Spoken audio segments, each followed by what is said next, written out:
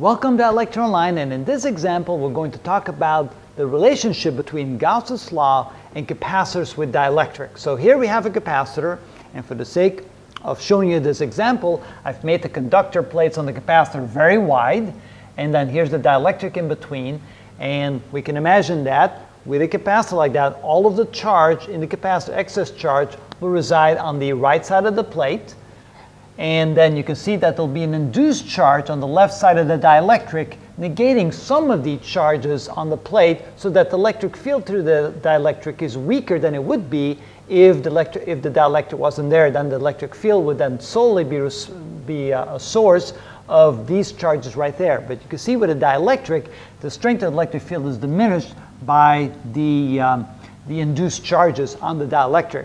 We already saw in previous videos that the electric field next to a capacitor plate like that can be calculated by taking the charge density divided by epsilon sub naught if there's no dielectric, which is the charge per unit area, times 1 over epsilon sub naught. With a dielectric, we knew that the electric field strength would be diminished by 1 over k. k, of course, being the dielectric constant of the dielectric, and that would be the electric field in there. So let's see if with Gauss's law we can come to the same conclusion. Well, remember what Gauss's law uh, said, that the surface integral of E dot dA is equal to the charge enclosed divided by epsilon sub naught. So let's use that same principle here. Here we have a Gaussian surface, and imagine the Gaussian surface is a slab, where the left side of the slab is somewhere in the middle of the conductor on the left side, and the right side of the slab is some distance into the dielectric. Now, will there be any electric field emanating from the left side of the slab? And the answer is no. the electric field will go from this charge to the negative charge on the other side of the, um, of the capacitor plates. So there'll be no electric field in this direction, so no uh, what we call electric flux crossing the Gaussian surface on the left side. We also realize that there will be no electric field emanating directly up, directly down, out, or in the back direction. The only electric field that we see is through the right side of the slab. And so we can then say that the strength of the electric field on the right side of the slab, which is equal to the strength of the electric field inside the dielectric, can then be found using this equation, because then we can say that the electric field strength times the area of the right side of the slab, which is A, is equal to Q enclosed divided by epsilon sub naught. Now the question is, what is the charge enclosed? Well, we have to add up the charge on the plate and we have to add up the charge on the dielectric. That would be the induced charge, and since they're opposite in sign, we have to subtract the induced charge from the charge on the plate. So this would be equal to Q on the plate minus Q uh, induced. Okay, now let me put a line in between there so we don't get that confused like that. Okay, now how do we find Q on the plate, the charge on the plate, and Q induced? Well, let's go back to this equation right here. We can see here that the charge is basically equal to the charge density times the area. So which means that E times the area is equal to the charge density on the plate times the area of the plate minus the charge density of the induced charges times the area of the plate, all divided by epsilon sub naught. So now what we can see is, okay, so we have an A on the left side, we have an A on the right side. So we can say that E times A is equal to A times sigma minus sigma induced. Now remember, this is the charge density on the capacitor plates, and this is the charge density of the induced charges divided by epsilon sub naught. Now how do these relate to each other? Well, we know that the charge density of the induced charges is equal to 1 minus 1 over k times the charge density of the charges on the capacitor plate.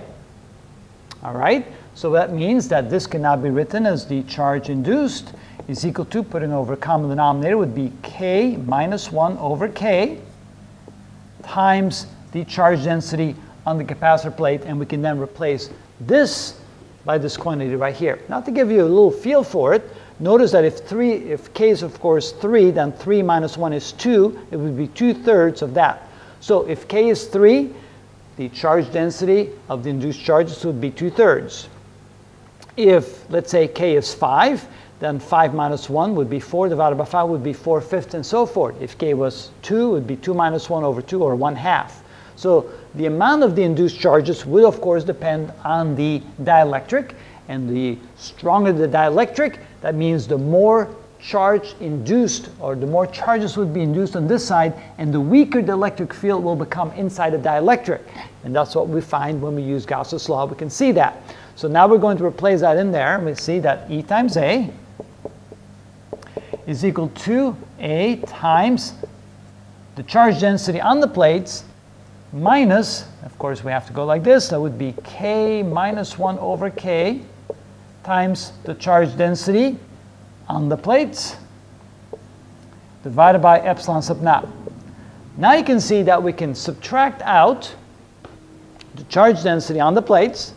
So this can now be written as A times, excuse me, the charge density times, and now we're left with 1 minus k minus 1 over k, like that, divided by epsilon sub naught. If we now simplify this, what do we get? So this is equal to a times this times, it would be k minus k minus 1 over k divided by epsilon sub naught. All right? Now you can see that the numerator, k minus k, that's 0. And, ooh, we have a minus times a minus. That makes us a plus. Don't want to make that mistake. All right, so now we have E times A is equal to A times the charge density on the plates divided by epsilon sub naught. And what does this simplify to? This simplifies to k minus k equal to 0, simply 1 over k. So times 1 over k which is equal to, and of course when the areas cancel out, we'll do that in a moment. So we have A sigma divided by epsilon sub naught times K. And finally, of course, we have the electric field times the area equals the area times the charge density divided by epsilon sub naught times K. So if we want to make that in a simple equation, divide both sides by A.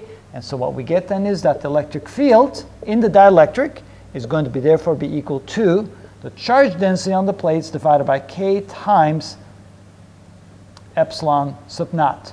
And we find that using Gauss's law, we come up with the very same equation right here. Now, of course, sigma here could be written as charge divided by unit area, and then we get the same equation. But in whatever form we want to put it in, notice that the Gauss's law works really fine with dielectrics, and again shows us that the electric field can be found using Gauss's law as we can find in any other method like that. So here's an interesting relationship that with dielectrics and Gauss's law, we can also find the electric field strength inside the dielectric between two capacitor plates. And that's how we do that.